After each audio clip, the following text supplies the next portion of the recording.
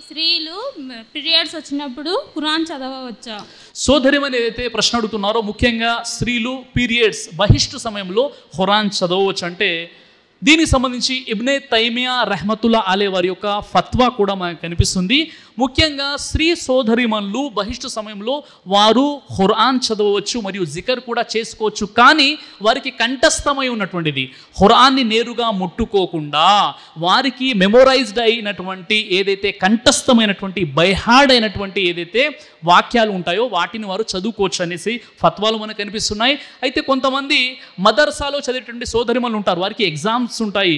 వారికి కూడా ఉలమాలు ఇచ్చినటువంటి ఫత్వా ఏంటంటే వారు గ్లౌజెస్ చేతికి తొడుక్కొని వారు ఖురాన్ని చదవచ్చు అని కూడా ఫత్వాలు మనకు కనిపిస్తున్నాయి. కాబట్టి సోదరిమ అడిగినటువంటి ప్రశ్న జవాబు దొరుకుతుందని ఆశిస్తున్నాను